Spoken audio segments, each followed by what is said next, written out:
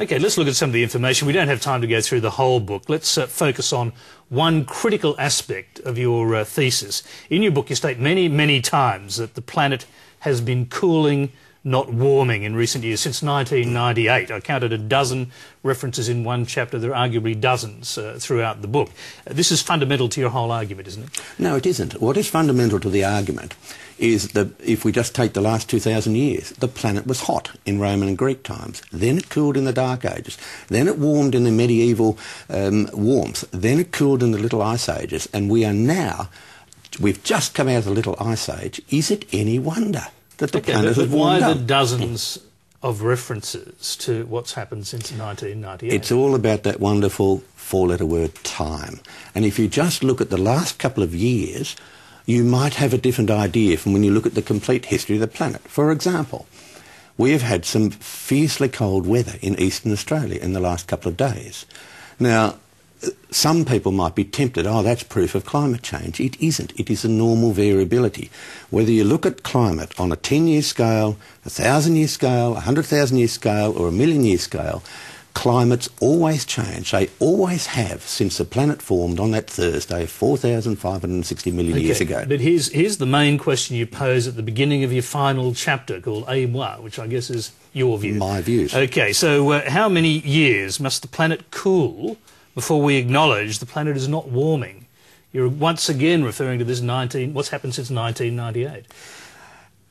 Also in that chapter, in the very last bit, I Yes, asked why do you don't, I- you don't want to talk about what's well, happened since um, 1998? Why is that? Um, when you finished interrupting yourself, I'll All go right. on to it. I'm actually interrupting you. At the end of the chapter, that particular chapter, I ask a question which our global warmers never ask themselves. I ask the question, what happens if I'm wrong? Now, the evidence that I use to show that the planet has been cooling is the same body of evidence that they use. It comes out of the major meteorological centres in the world. We are currently in a cooling phase. Before that, we're in a warming phase. From 1940 um, to 1976, we were cooling. So we go through regular cycles of cooling and warming.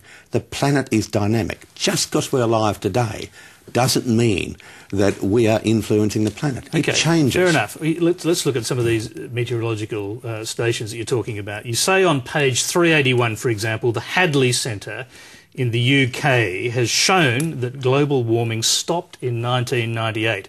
You regard the Hadley data as reliable, I take it. Well, that's one of the four centres that put out climate data, and the Hadley Centre uses a slightly different database from some of the American centres. They use temperature uh, based on thermometer measurements. Some of the others use satellite and balloon measurements.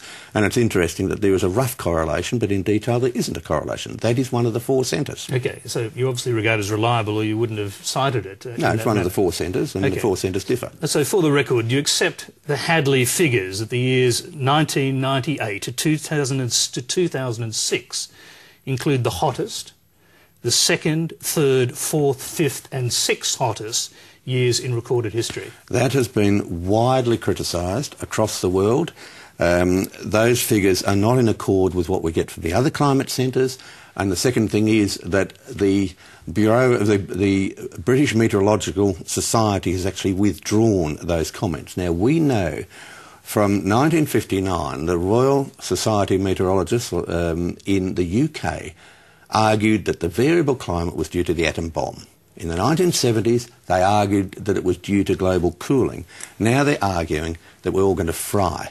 So science is married to evidence. That evidence Okay. constantly Well, accumulates Let's and look at the evidence from this uh, Hadley Centre, their data for global mean temperatures. You've acknowledged they're reliable.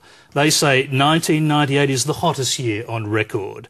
2005, the second hottest year on record. The third hottest is 2003. The fourth, 2002. The fifth hottest, 2004. The sixth, 2006. Now, if these figures are right, isn't it reasonable to state that, that global temperatures have remained on a remarkably high plateau rather than cooling, as you're suggesting? No, in the 1930s it was much hotter.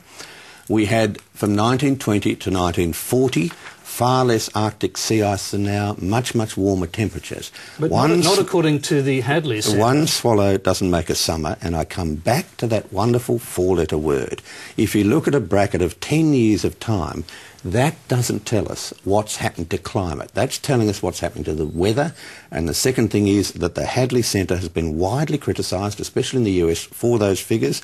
NASA also gave similar figures, which they withdrew. Uh, I'll, I'll go through that in a moment. I will come to that, I promise you. Let's look at 2008 when the La Nina event impacted on temperatures. As you've written, it led to blizzards in China.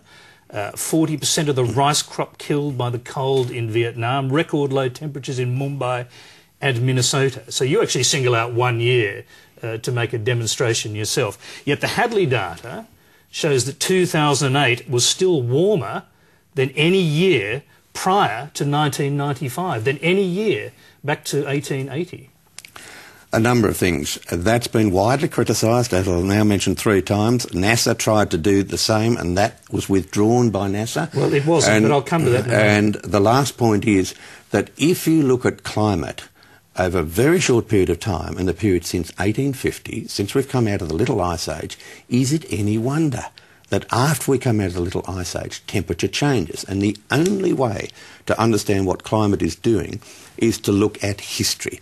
Now, the one point I make in this book is we are ignoring history at our peril. The Hadley Centre might be looking at 10, 20 or 50 years of information. That tells us nothing about the way the world is going. Except, so I, I understand your bigger point, except for the fact that you've spent so much of the book, you've quoted so many times that from 1998 to now, that's a period of a little over 10 years, the climate has cooled, not warmed. I mean, you state that in order to, in order to make your argument mean something. No, in order to show that okay. the planet is variable. And planet Earth is dynamic. We live in Australia on the most variable habitated continent in terms of weather and climate on the world. And the key point I'm making is the planet is variable. It always changes. It's dynamic. And to take a very small bracket of time is like looking at the love scene in Casablanca. Yes. That film is not about love. It's about a totally different topic. And if you just take a couple of years, yeah. it's not telling you anything. So okay. If, I mean, uh, I probably wouldn't cooling, be making so much of this if you hadn't made so much of that 10-year period yourself. well, now, listen, you're in, only in talking fact, about chapter well, 7. Well, no, I'm uh, talking uh, about quite a, I'm talking the about book. the introduction, I'm talking about the final chapter, I'm talking about the chapter on air as well. Uh, the latest NASA analysis, that's April of 2009, from the Goddard Institute for Space Studies, states that 2008 was the ninth warmest year in recorded history.